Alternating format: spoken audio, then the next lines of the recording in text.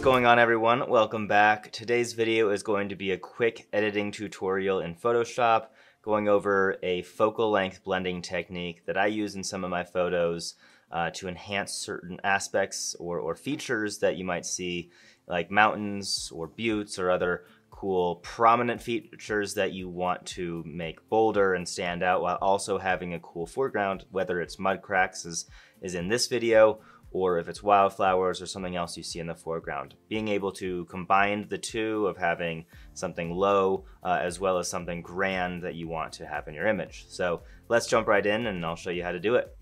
Alright, so here we have two different images. One, like I said, for the foreground. In this image, that's going to be mud cracks, as well as this butte that was also in frame, but I wanted to make more grand. When you were standing there, it was this towering butte that looked uh, really bold and, and really impressive. And then in the photo, when you have a wide angle, sometimes even with the distortion that might come with that lens, it's not quite uh, as prominent as you might like it to be in your final image. So what I did in the field was I used a 14 millimeter uh, shot of the mud cracks. Uh, it's actually a focus stack as well not to dive into that in this video. Then the focal length blended part of that, the butte itself is shot at I think 24 millimeters or close to it. So right now we, in this frame, this is the butte photo. Uh, and then you can see these are the mud cracks. Um, the mud cracks, like I said, are focus stacked, so they're all sharp. Um, and then the butte is a little bit larger to enhance the dramaticness of that. Dramaticness. Not sure if that's a word. Um, all right, so now we're going to blend these two images together. I'm going to go over here to add layer mask.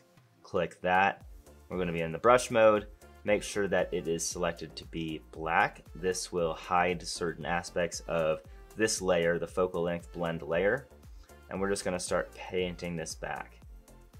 So now we can see those mud cracks. And for the sake of this video, I'm not going to make it perfect. Just gonna give you the gist of how to do this. So now you can see this is already coming together pretty nicely. Next, to actually make the contracts and the exposure um, match, we are going to click the add adjustment layer, go over to curves, hold option, and then click that line in between those two layers. And those will link the two of them so that everything I do here will only be done to this specific layer. So I'm just going to bring it up to right there is actually pretty good. It blended that pretty nicely. Now, um, I will do more um, to blend these two images together and to, to make it a final image that I'm happy with. But that essentially is the gist of the actual focal length blend. You can see that there is a line, the sky is a little wonky there. Uh, that is because the sky that is in this focal length blend is the one that's showing through, so it's not actually going to the top. So let's actually go over the steps to separate the sky uh, from the foreground, whether or not you're doing a focal length blend and a composite, uh, whether it's a blue hour blend uh, for some nightscapes, um, or if it's just a little bit time, maybe you got your focal length blend maybe 30 minutes apart and the sky completely changed. So let's go over how we do that.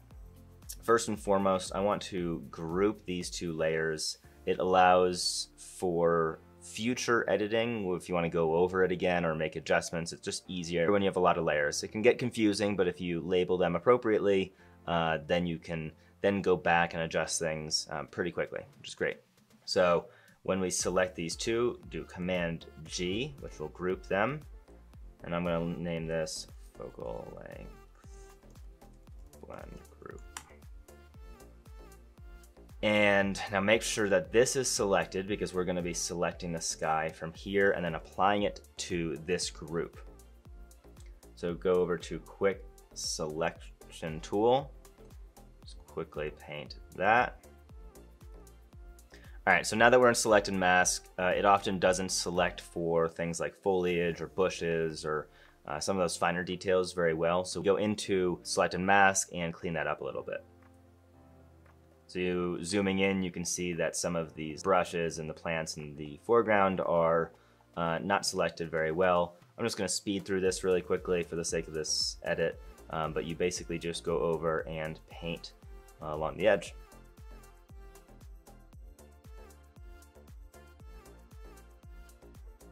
All right, now that everything's selected, we'll press okay. Make sure that you go back to this group Click the uh, add layer mask. We're going to do a command I to that so it inverts it.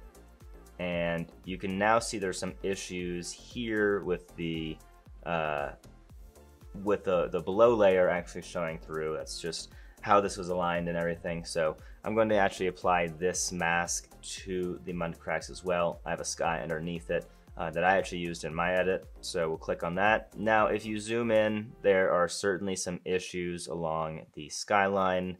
Again, that is a video uh, for a future date on how to blend and composite images a little bit better, as well as some dodging and burning that I would do to this foreground um, to make it overall a image that I'm happy with. Right now, this is just the start of the image, um, but so far you can see the before and after. So this would be the before of the total shot, and then that is it afterwards. So uh, hopefully this was helpful. If you have any questions, feel free to drop them in the comments below, and I'll get back to them as soon as I can. Uh, if you like the video, please do drop a like. And if you're not subscribed already, please do that as well. It really helps me out. And it'll allow you to see future videos uh, and tutorials that I come out with. So thanks so much for tuning in, and we'll see you in the next one. Thank you.